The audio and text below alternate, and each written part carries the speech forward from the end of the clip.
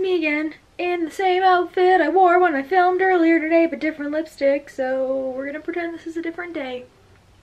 Okay?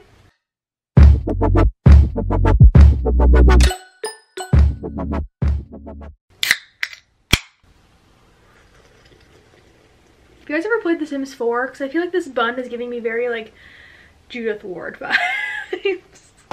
Hello, welcome back. It's day literally I don't know what of Vlogmas. But today I'm doing another holiday themed video and doing like a little gift guide for people that already have everything. I'm kind of one of these people, I feel like a lot of my friends are these people where it's like if I want something, I'm just gonna go buy it for myself. So these are kind of things that I think would be like good alternatives for people that you feel like already have everything and don't need anything and just buy themselves stuff. A lot of these are to be like female based if you guys want to see like a dude's or a male's gift guide. Not that like women can't have men's gifts and men's can't have women's gifts, but you know what I mean? If you want to see more like male centered gift guide, I can also do that. But is going to be mostly for women. My lighting right now? Chef's kiss, 10 out of 10. The first is nice scrunchies. So this seems super random and I've always been a scrunchie person. If you do not know, I worked in American Apparel for years. I was into scrunchies when scrunchies weren't cool anymore. I've always liked scrunchies. There, can't even see her. They're all I wear. Um, I've kind of given up on regular elastics and I appreciate a good scrunchie. I bought, it's controversial because they're silk, but I bought myself this during the Sephora VIB sale. This is a set from Slip of four. There was four in here right? And i have one in my hair right now the like lighter pink one. I love these. It's great. It like doesn't stretch out too much. It like doesn't kink my hair at all. I don't think it's doing anything like amazing for my hair that like fake silk probably wouldn't do but i don't know the setup of these like mini scrunchies i really really like and they're super expensive they're like stupid expensive i'll have these specific ones not in this gift set because they don't have the gift set anymore but i'll have these ones linked down below of everything that I mentioned linked down below. Um, but even just getting like a nicer scrunchie, I know Lululemon has a bunch of them. I know on Amazon you can get like big packs of scrunchies. I know a lot of Etsy shops made scrunchies. So just like a fancier scrunchie I think would be really nice. Or if you know they really like something, lots of Etsy shops will make like custom scrunchies and more unique ones. So I know there's like a bunch of Disney shops that make Disney scrunchies. So just like a cute, nice themed scrunchie. I feel like everyone will appreciate as long as they have hair, you know? I saw this on, it was like one of those BuzzFeed posts that was like things that you want to buy from Amazon.ca today. And I'll throw a photo up here. How cute is this? It's like a little animal diffuser slash humidifier. And I just think things like this are so cute. Mine's actually upstairs right now because my mom took it. But I do have a diffuser that I got from Saje like two years ago, I think, for my brother for Christmas. I almost said for Halloween there, for Christmas, that I really, really enjoy. And then it's nice because if you get them this, you get them like little essential oils throughout the years for other gifts. Um, Saje has really nice ones, but honestly they're really expensive because they're from Saje. Um, and the problem with them, essentially if you use any other essential oil that's not a Saje essential oil, I think their warranty is like cut, you know? There's a ton on Amazon that you can get. These ones are like really cheap, really small, like cute little themed ones. Um, you can get like any color things like that. Even if they aren't diffusing oils, getting little humidifiers are really cute. If you live in a really dry climate, they make ones for your car that I learned that are really cool. And as someone with very dry skin, I appreciate a good humidifier. This I didn't know existed and then I saw it and I was like, I've never needed anything more in my entire life. If you have someone in your life that you're trying to buy for that likes skincare, get them a skincare fridge. Some places call them skincare fridges, but honestly they mark up the price. You can find them on Amazon or like Walmart as six can mini fridges. So they're essentially these teeny tiny little mini fridges that fit like six cans, but this way, like stacked. Um, so cute to have beside your bed. I personally would keep, you know, cans in it, but people are keeping like setting sprays and skincare products and like drinks and water bottles and things like that. You can get super cute like pink ones and teal ones. So a whole bunch on Amazon. There was one on Walmart that was on like a crazy sale for Black Friday. So I'm hoping there'll be a really good sale for Boxing Day. But I love this idea. I think it's something that is so ridiculous that no one would ever buy themselves, but I would adore it as a gift. This is a more traditional one, but some sort of like experience.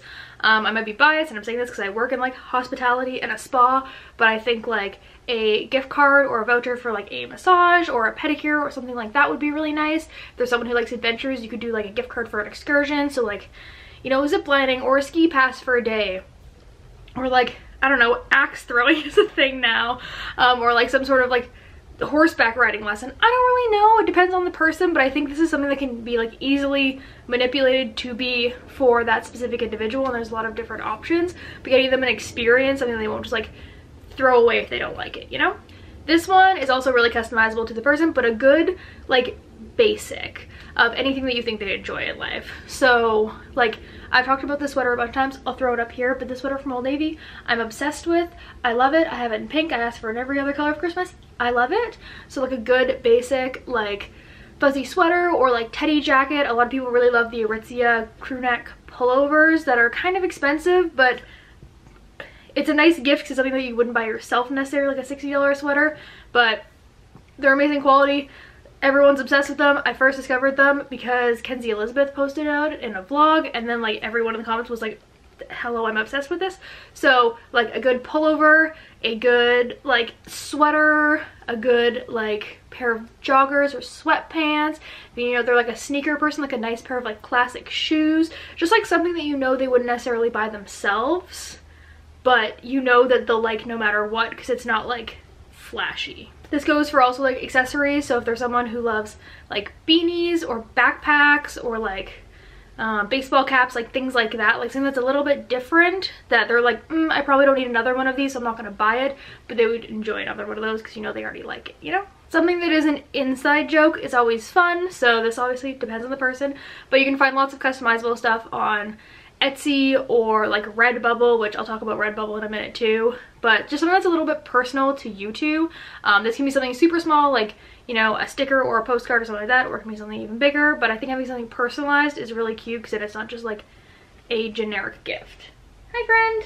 Something that is the gift that keeps giving. So whether this be like a monthly subscription box, like Ipsy or like BoxyCharm or there's there's honestly subscription boxes for everything. I saw a jerky subscription box the other day. I almost bought my brother a beer subscription box. There's wine subscription boxes. There's tea subscription boxes.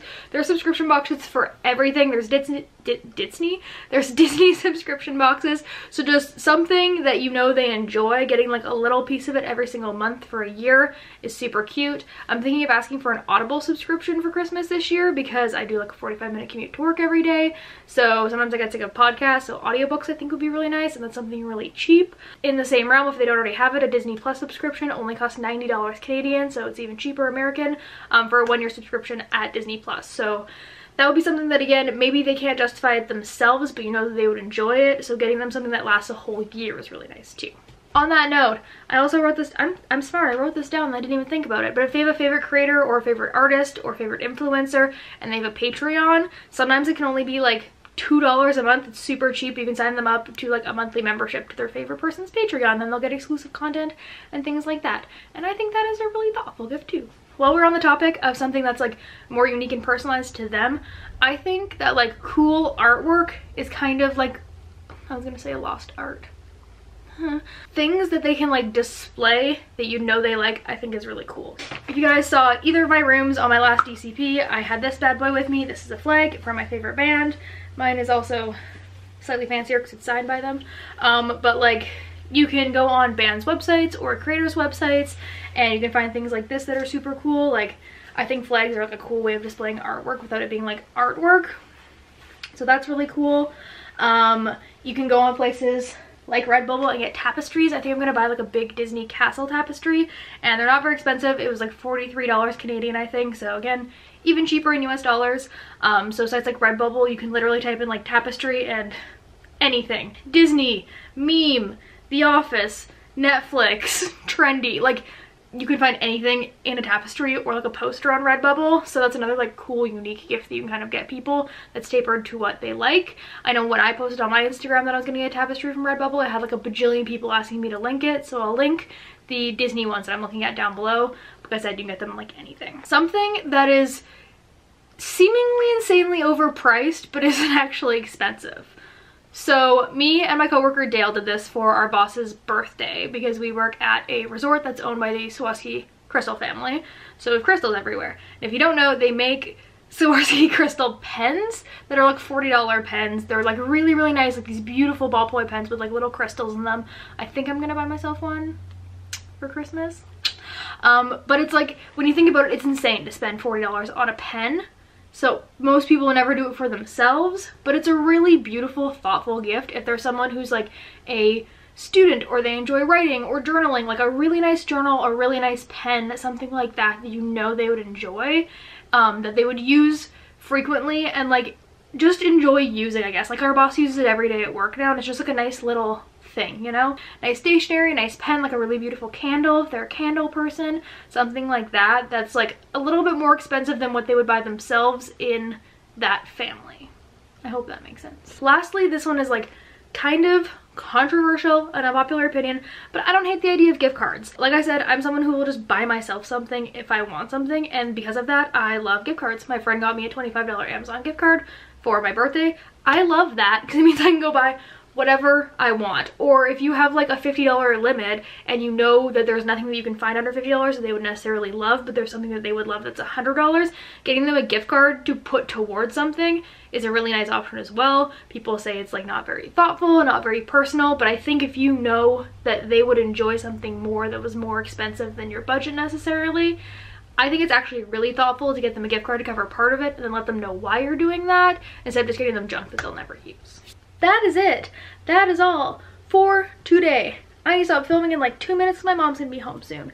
But that was my like little teeny tiny baby gift guide for people that already have everything. I hope you enjoyed. If you did, please like the video, subscribe. If there's anything else that you want to see for Vlogmas, leave me a comment down below. I'm in the comments all the time. All I do is reply to my comments because I have no life. So please, please, please leave comments, subscribe, hang out with me. All my links to everything else are always down below if you want to see me on any other social media platform. I'm on like all of them.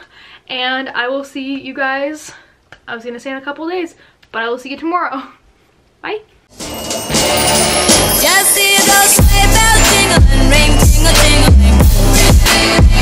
I'm on lovely weather for a sleigh ride together with you. Outside, snow is falling friends are calling.